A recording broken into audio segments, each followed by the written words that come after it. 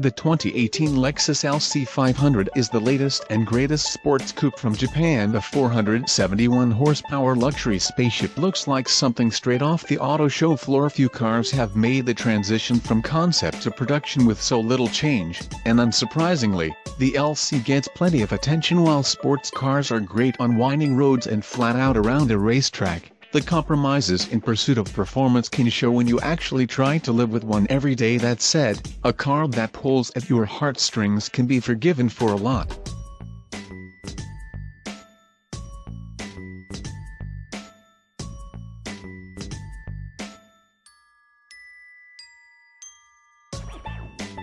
Senior Green Editor John Beltz Snyder, on my night with the Lexus LC500, I was tasked with picking up my toddler, Wolfgang, from daycare I wondered if I'd even be able to shoehorn the child seat into the coupe's tiny rear row. I moved the front passenger seat up as far as it would go and folded it forward, unclipping the seatbelt from the shoulder strap holding it in place. I was able to get the child seat in its rear-facing position, my son's not quite two years old, and was happy to see that the LC had latch brackets, which made installation a little easier.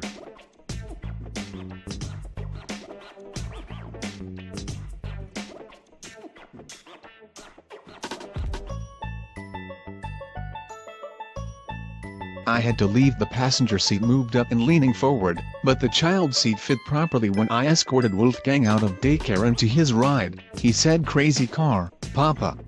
Then I had to climb in the rear seat on the driver's side to clip him and totally worth it, though he loved the car, and wanted to check it out more completely when we got home and the LC500 got a lot of looks from other motorists rubberneckers slowed down to check out the car on Woodward, and lingered as they passed me on the highway the one thing I couldn't share with them was the full song of the car's 5.0-liter V8.